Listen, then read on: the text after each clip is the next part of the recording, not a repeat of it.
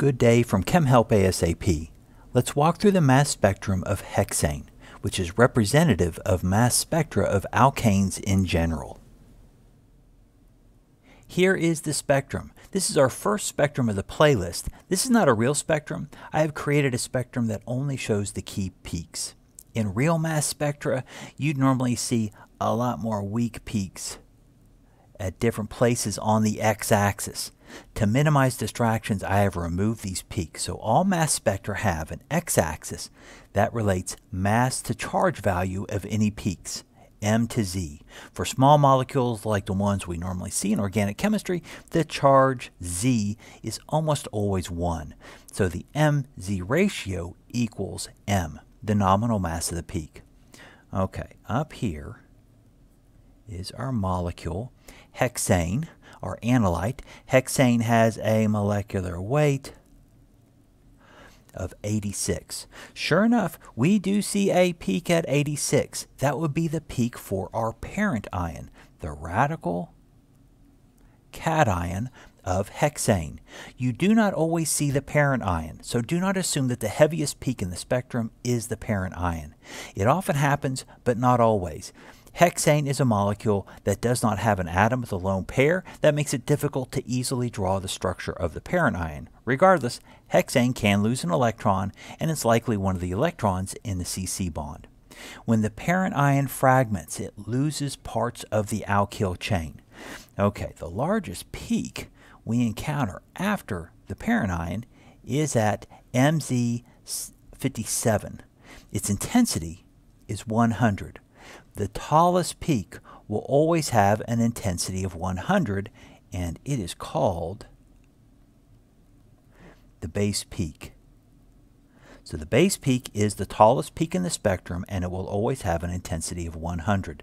The difference between the parent ion, MZ86, and 57 is 29. So to get to 57, a parent ion has lost a mass of 29. We call this an M minus 29 peak. What is 29? 29 is the mass of an ethyl group.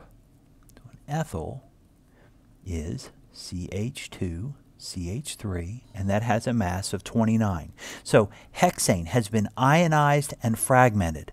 The cation fragment, a butyl cation, is detected at MZ57. The radical fragment with a mass of 29, that's our ethyl radical, is not detected. Uh-oh, we do see a peak at 29. That's fine. Apparently some of our parent ion fragments to make an ethyl cation and a butyl radical. We observe the ethyl peak at MZ29 and the butyl radical is not observed. So we might call this peak our M minus 57 since the parent ion has lost 57, leaving behind 29. The peak at MZ43 is from the parent ion breaking into two equal parts, a propyl cation, that's what we observe, and a propyl radical, and we do not observe that. So this is the peak we observe here at MZ of 43. We might call this peak at 43 MZ my, or sorry, M minus 43.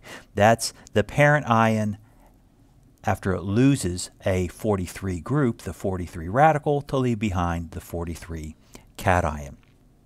The pattern of peaks that we see in this spectrum, with each peak being separated by a mass of 14, the same mass as a CH2 group, is often a sign of an alkane in a mass spectrum, and hexane is an alkane.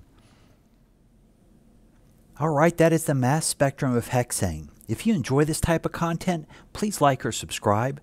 Questions and comments are also always welcome. Take care.